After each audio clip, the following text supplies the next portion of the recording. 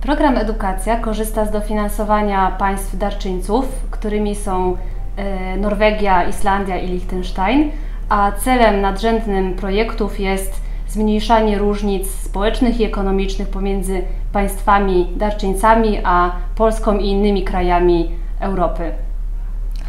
W tym programie o dofinansowanie mogą ubiegać się organizacje zajmujące się kształceniem. Mogą to być szkoły, zarówno podstawowe, jak i średnie, ale także uczelnie wyższe oraz, co nas wyjątkowo cieszy, organizacje pozarządowe. Mottem programu jest Working Together for Green, Competitive and Inclusive Europe.